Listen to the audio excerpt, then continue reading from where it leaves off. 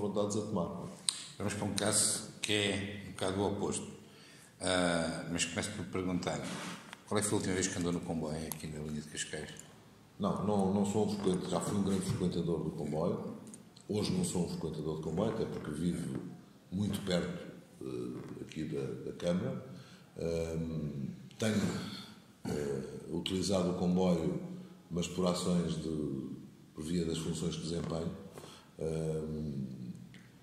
Obviamente tenho, muito, tenho família, as minhas filhas utilizam muito o comboio, amigos, familiares, cidadãos em geral que, que, que, com quem contacto, uh, mas eu hoje não sou um frequentador uh, do comboio.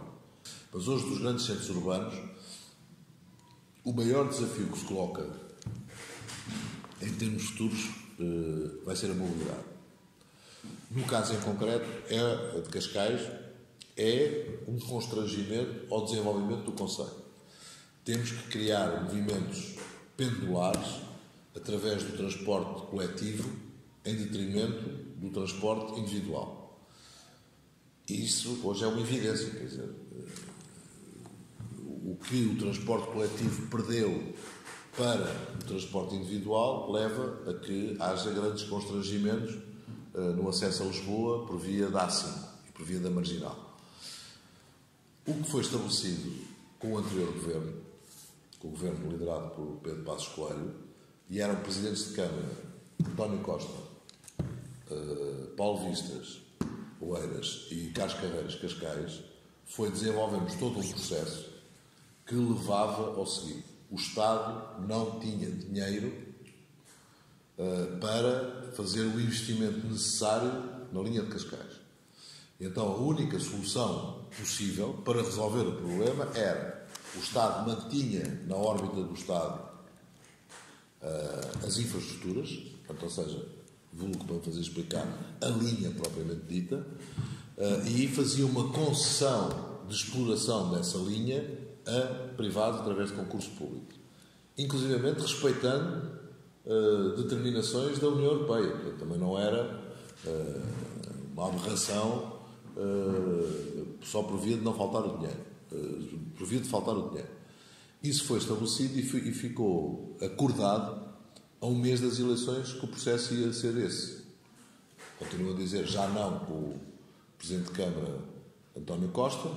Estávamos no mês de eleições, o processo todo fechado e hum, o Primeiro-Ministro à época, portanto Pedro Passos Coelho, entendeu que estando próximo das eleições, uma, uma decisão dessa natureza uh, tão próximo de eleições não devia ser executada. E, portanto, que se devia esperar pelas eleições para se poder executar essa, essa decisão. Ora, aconteceu o que aconteceu. Pedro Passos Coelho ganha as eleições, mas sem condições de formar uh, um apoio parlamentar que suportasse o governo.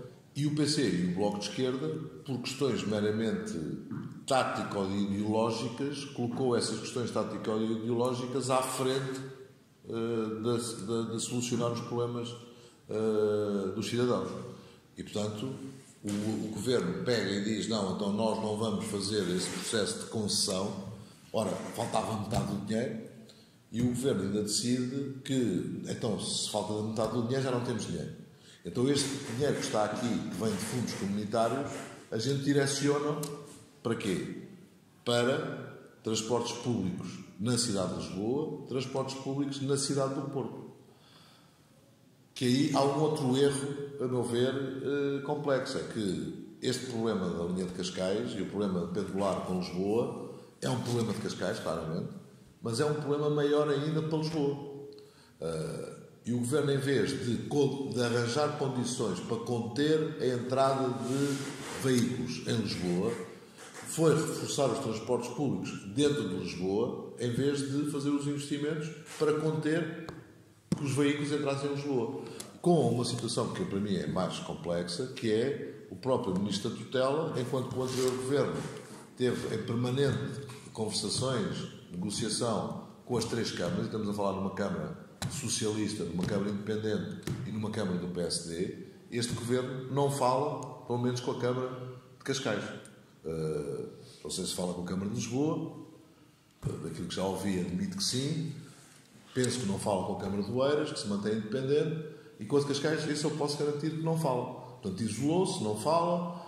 Uh, inclusive, já escrevi cartas ao Sr. Primeiro-Ministro, que ele teve, teve o favor de nos responder, uh, direcionando o assunto para o Ministro da Tutela.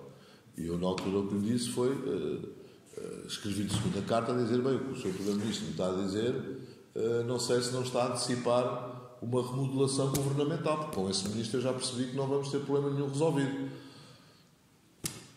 Houve agora a remodelação e esse ministro ficou. Portanto, este assunto passou, a meu ver, da responsabilidade política do ministro para a responsabilidade política do primeiro-ministro.